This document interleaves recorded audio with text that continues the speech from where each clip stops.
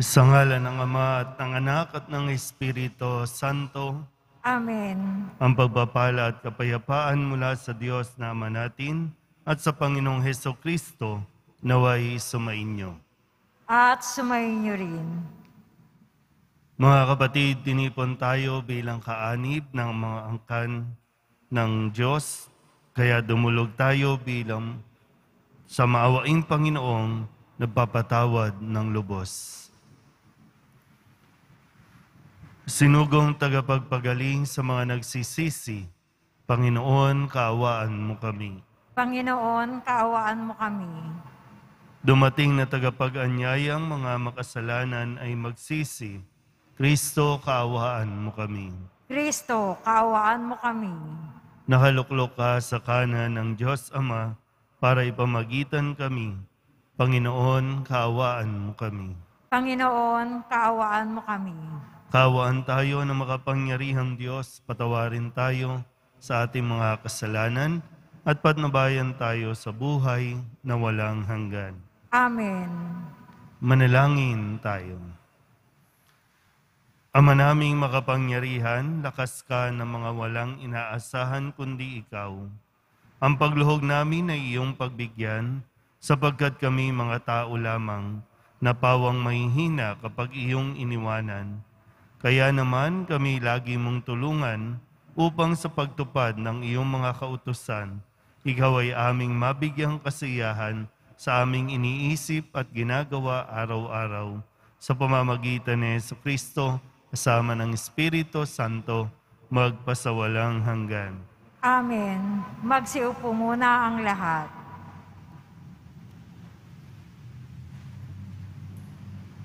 Pagbasa mula sa aklat ni Sirat. Sumunod na lumitaw si Elias na parang apoy, parang sulong nagliliyab ang kanyang mga salita.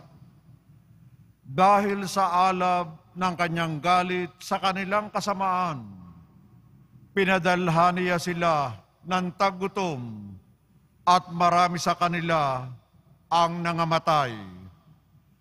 Sa ngalan ng Diyos, pinigil niya ang ulan at tatlong ulit siyang nagpaula ng apoy. Kagilagilalas ang iyong mga kababalaghan, Elias. Sino ang makatutulad sa mga ginawa mo? Binuhay mong muli ang isang patay. Inagaw mo siya sa kamatayan sa ngalan ng kataas-taasan. Ibinagsak mo ang mga hari at pinukaw sa pagtulog ang mga maharlika at pinapunta mo sila sa kanilang kamatayan.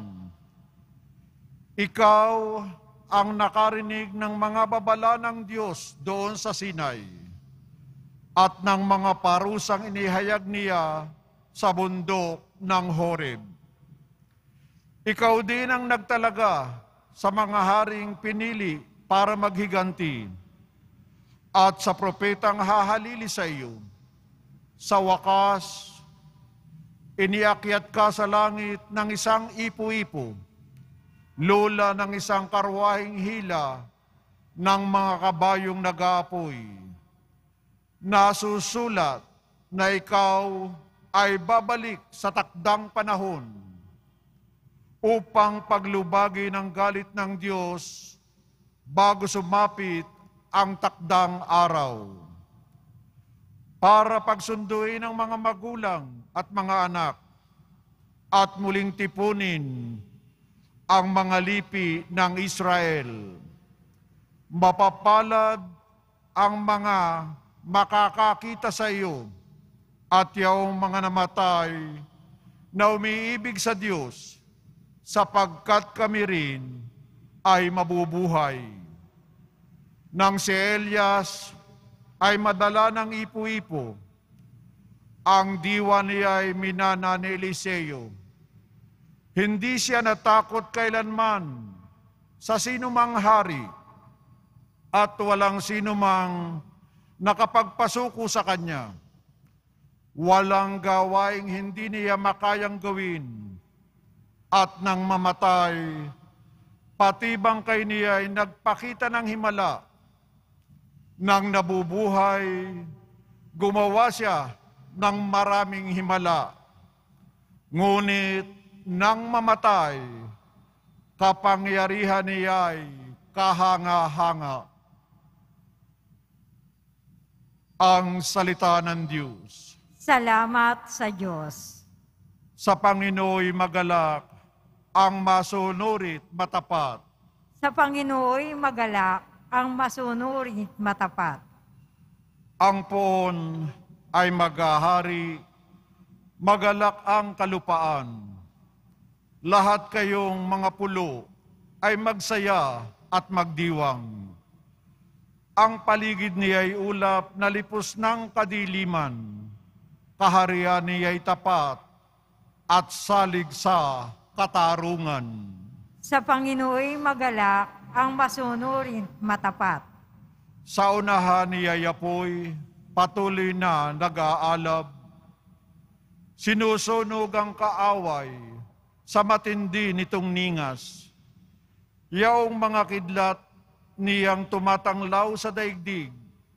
Kapag iyon ay namasdan, ang lahat ay manginginig. Sa Panginooy magalak ang masunurit matapat. Yaong mga kabundukay natutunaw parang pagkit sa harapan ng dakilang Panginoon ng daigdig. Sa langit ay nahayag yaong kanyang katwiran. Sa lupa ay makikita ang kanyang kadakilaan. Sa Panginooy magalak ang masunurit matapat. Lahat silang sumasamba sa kanilang Diyos-Diyosan, may hiya sa kanilang paghahambog na mainam. Mga Diyos nilang ito ay yuyuko sa may kapal. Sa Panginooy magalak ang masunurit matapat. Magsitayo po ang lahat.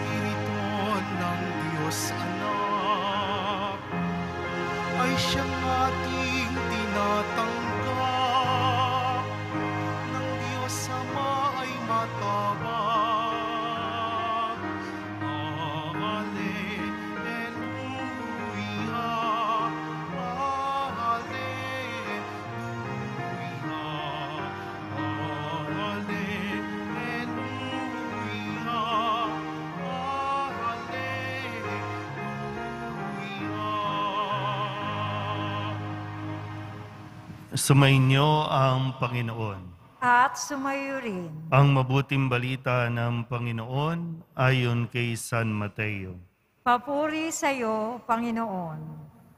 Noong panahong iyon, sinabi ni Jesus sa kanyang mga alagad, Sa pananalangin ninyo'y huwag kayong gagamit ng napakaraming salita, gaya ng ginagawa ng mga hintil.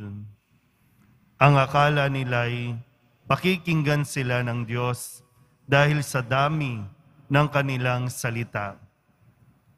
Huwag ninyo silang tutularan, sapagkat alam na ng inyong Ama ang inyong kinakailangan bago pa ninyo hingin sa Kanya. Ganito kayo mananalangin. Ama naming nasa langit, sambahin nawa ang pangalan mo. Ikaw nawa ang maghari sa amin.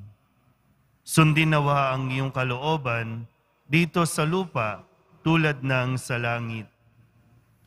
Bigyan mo kami ng pagkain kailangan namin sa araw na ito at patawarin mo kami sa aming mga kasalanan tulad ng aming pagpapatawad sa mga nagkakasala sa amin. At huwag mo kaming iharap sa mahigpit na pagsubok, kundi ilayo mo kami sa masama. Sapagkat iyo ang kaharian at ang kapangyarihan at ang kapurihan magpakailanman. Amen. Sapagkat kung pinatatawad ninyo ang mga nagkakasala sa inyo, patatawarin din kayo ng inyong amang nasa langit. Ngunit kung hindi ninyo pinatatawad ang mga nagkakasala sa inyo, hindi rin kayo patatawarin ng inyong ama. Ang mabuting balita ng Panginoon. Pinupuri ka namin, Panginoong Heso Kristo. Magsiupo po ang lahat. Isang magandang araw po sa inyong lahat.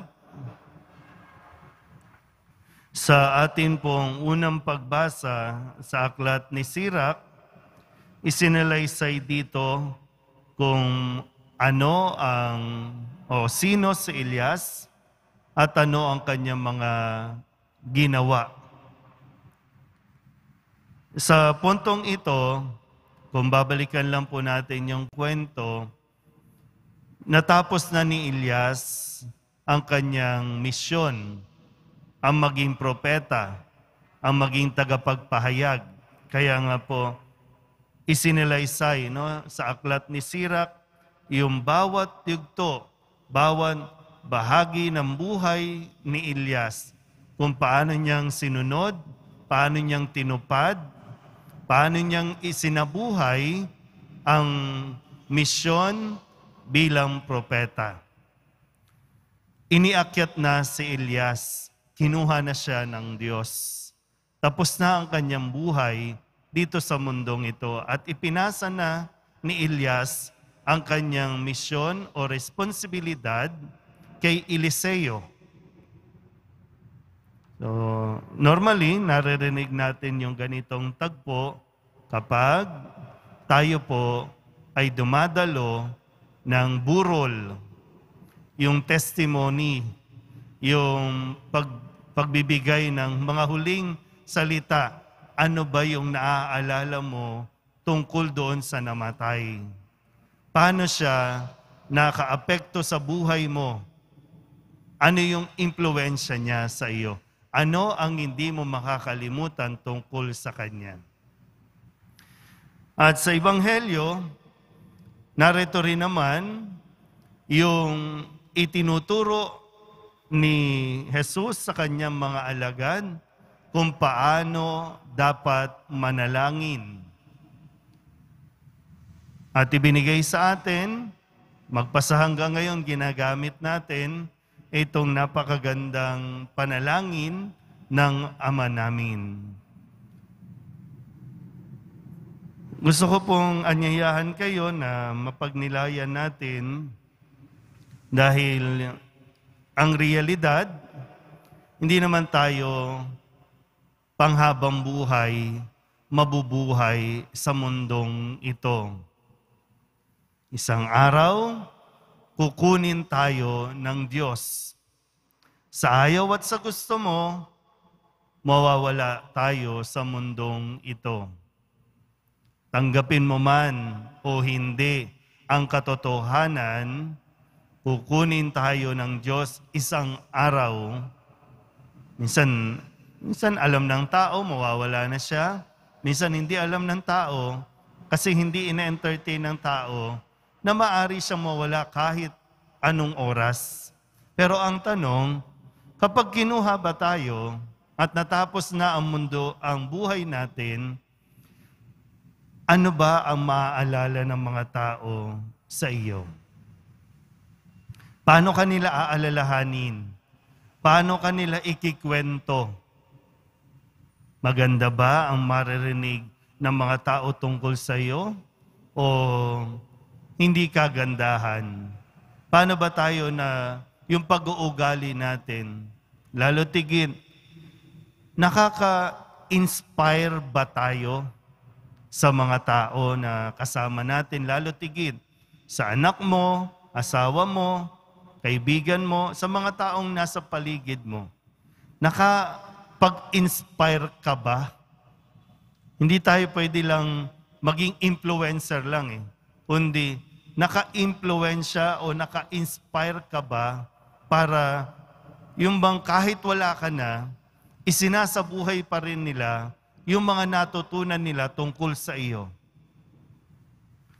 Sa mga deboto po, no, may mga kwento na kaya ka naging deboto o nagdebosyon ay dahil ito ang natutunan mo sa iyong mga magulang o sa iyong lolo, lola at ngayon sinisikap mo din na maituro ito sa iyong anak o sa iyong apo kung paano manalangin, kung paano magdebosyon sa poong Jesus Nazareno. Sana po, no? O nawa, wag lang tayong maiwan sa paghahanda ng mga material na bagay na po pwede mong iwan o ipamana sa mga tao sa paligid mo. Kundi bigyan din natin ng pagpapahalaga paano mo sila mai-inspire sumunod o makinig sa aral at mga turo ng poong Jesus Nazareno. Amen. Magsitayo po ang lahat.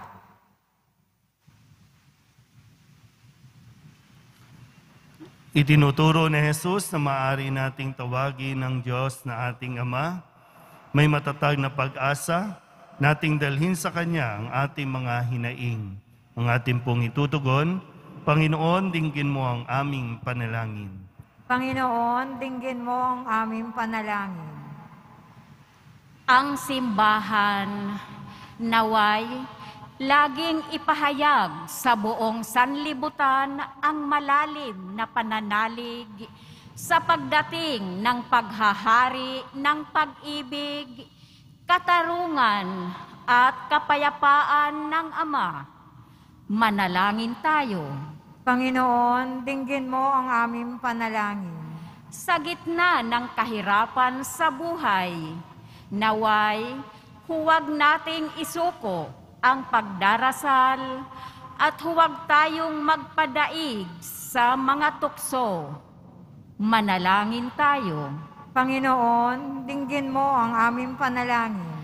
Tayo naway magkaroon ng sapat na pagkain sa ating pang-araw-araw na pangangailangan at kadakilaan ng puso na patawarin ang ating mga kaaway. Manalangin tayo. Panginoon, dinggin mo ang aming panalangin. Ang mga may sakit at yaong mga nag-aaruga sa kanila, naway maranasan ang Diyos sa kanilang araw-araw na pagsasakripisyo. Manalangin tayo. Panginoon, dinggin mo ang aming panalangin. Ang mga yumao, naway makita ng harapan ang Diyos sa kanyang walang hanggang tahanan. Manalangin tayo. Panginoon, dinggin mo ang aming panalangin. Idulog din natin sa Panginoon ang ating mga personal na kahilingan at mga panalangin para sa ating mga pamilya. Ganon din ang lahat ng mga misang pasasalamat, special na intensyon at mga kaluluwa na hinihiling na ipagdasal sa misang ito.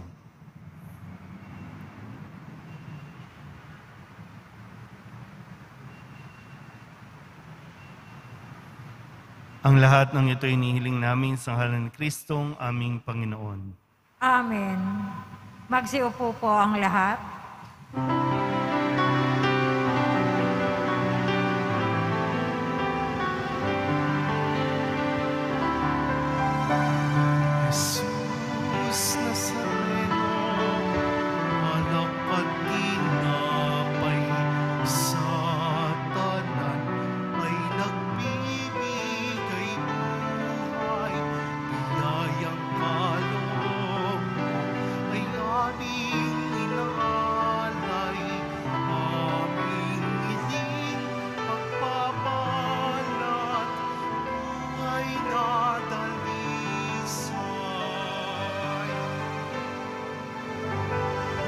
Magsitayo na po ang lahat. Manalangin kayo mga kapatid upang paghahain natin ang kalugdan ng Diyos sa mga makapangyarihan. Tanggapin nawa ng Panginoon itong pag-aahin sa iyong mga kamay.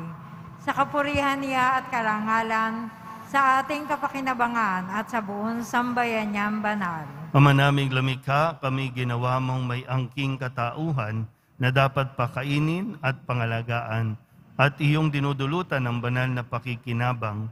Ipagalob mong kami huwag magkulang sa mga iniuukol mo sa aming kapakanan sa pamamagitan ni Yesu Kristo kasama ng Espiritu Santo magpasawalang hanggan.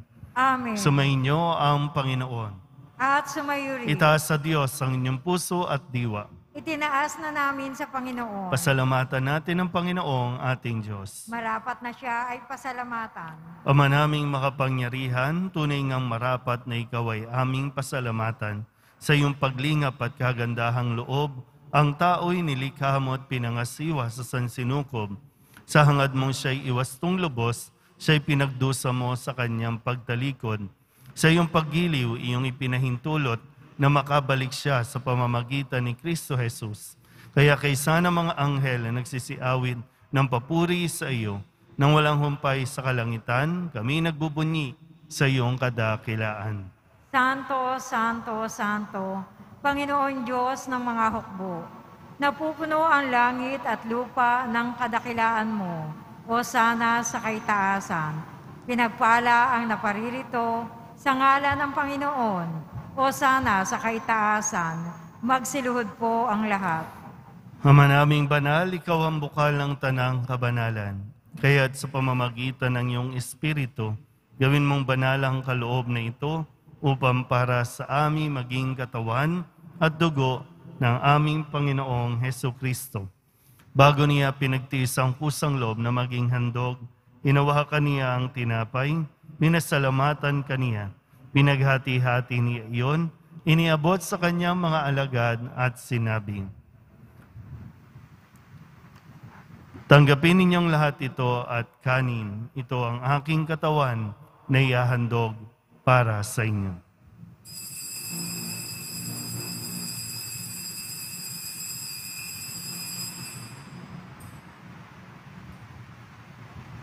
Gayun din naman, nung matapos ang hapunan, inawakan niya ang kalis, muli kaniyang pinasalamatan.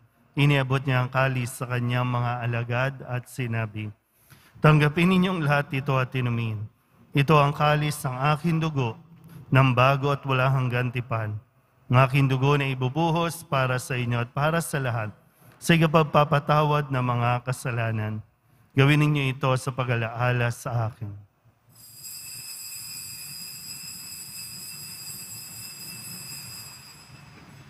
Magsitayo na po ang lahat.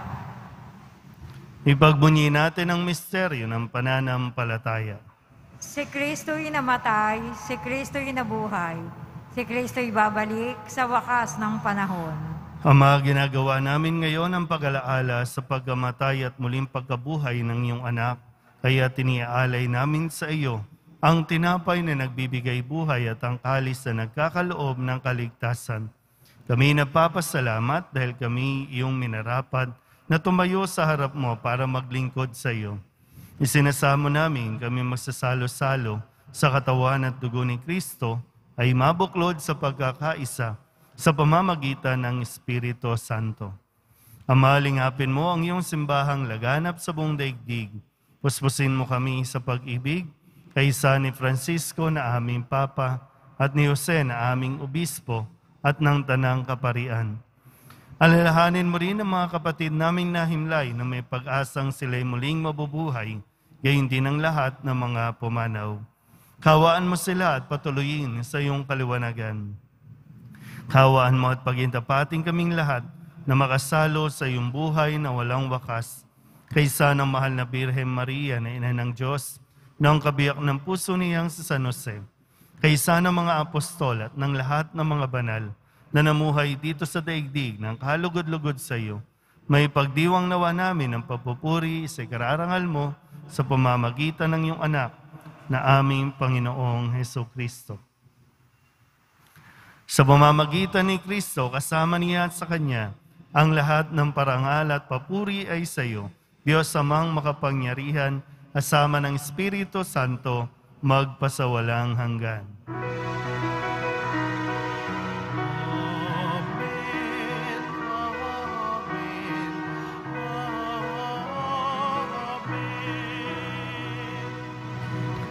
Buong kababaang loob tayong tumawag sa ating Panginoon ng Ama namin. Ama namin, Sumasalangit ka, sambahin ang ngalan mo, mapasa amin ang kaharian mo. Sundin ang loob mo dito sa lupa para nan sa langit. Bigyan mo kami ngayon ng aming kakanin sa araw-araw at patawarin mo kami sa aming mga sala para ng pagpapatawad namin sa nagkakasala sa amin. Huwag mo kaming ipahintulot sa tukso at iadya mo kami sa lahat ng masama. Hinihiling namin kami iadya sa lahat ng masama, pagkalooban ng kapayapaan araw-araw, iligtas sa kasalanan, at ilayo sa lahat ng kapahamakan, samantalang aming pinananabikan ang dakilang araw ng pagpapahayag ng tagapagligtas naming si Heso Kristo. sapagkat iyo ang kaharian, ang kapangyarihan, at ang kapurihan magpakailanman. Amen. Panginoong Heso Kristo, sinabi mo sa iyong mga apostol, Kapayapaan ang iniiwan ko sa inyo, ang aking kapayapaan ang binibigay ko sa inyo. Tunghayan mo ang aming pananampalataya at huwag ang aming mga pagkakasala. Pagkalooban mo kami ng kapayapaan at pagkakaisa ayon sa iyong kalooban, kasama ng Espiritu Santo, magpasawalang hanggan. Amen. Ang kapayapaan ng Panginoon ay laging sumainyo. At sumayo rin. Magbigayan po tayo ng kapayapaan sa isa't isa. Kordero ng Diyos na nag-aalis ng mga kasalanan ng sanlibutan, maawa ka sa amin.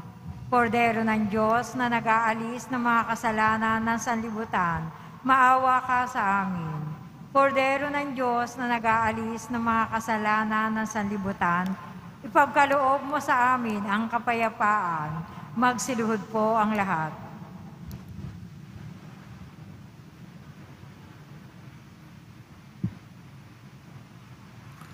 Ito ang kordero ng Diyos. Ito ang nag-aalis ng kasalanan ng sanlibutan. Mapalad ang mga inaanyayahan sa kanyang piging. Panginoon, hindi ako karapat-dapat na magpatuloy sa iyo, ngunit sa isang salita mo lamang ay gagaling na ako. Katawan ni Kristo, Amen.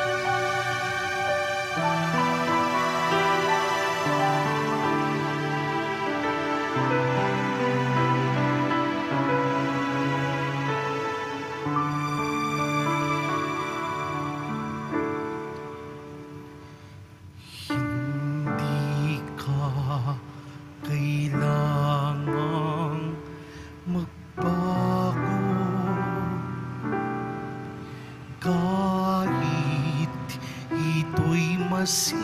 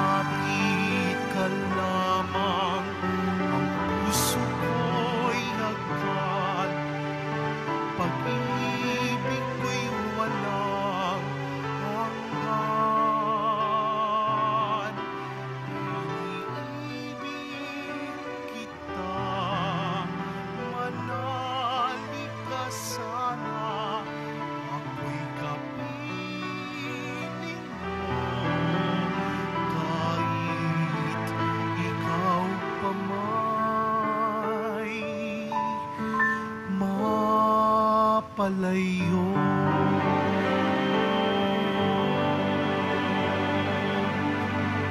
Magsitayo po ang lahat. Manalangin tayo.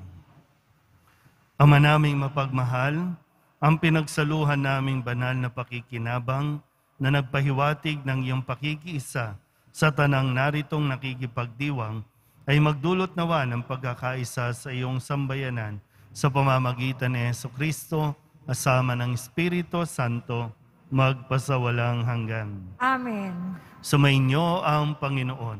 At sumayo rin. Manalangin tayo para sa pagbabasbas. Mahal na pong Jesus Nazareno, inihayag mo sa pamamagitan ng krus ang walang maliw na pag-ibig ng Diyos sa sangkatauhan. Pakinggan mo ang kahilingan ng iyong angka na nagsusumamo sa iyo. Makamtanawa nila ang iyong katugunan at tanggapin ang kasagutan na may utang na loob na tinatanaw. Basbasan din po ninyo mga dala-dala nilang mga imahin at dasalan sa pamamagitan ng bendisyon na ito naway maalala nila ang mga pangako nila noon sa binyag na ikaw ang kanilang ibigin at pagdilingkuran bilang Panginoon magpasawalang hanggan. Amen. At pagpalain kayo ng makapangyarihang Diyos, Ama at Anak at Espiritu Santo. Amen. Mayo kayong taglayang kapayapaan ng poong Jesus Nazareno. Salamat sa Diyos. Magandang araw po.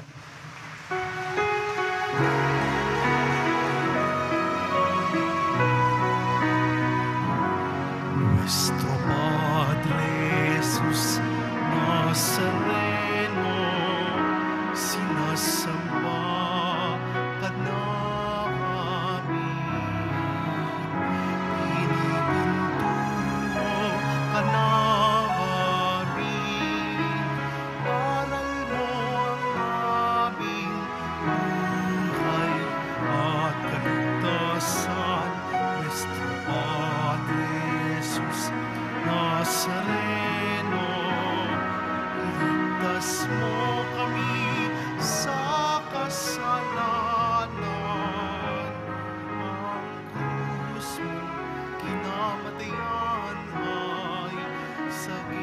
so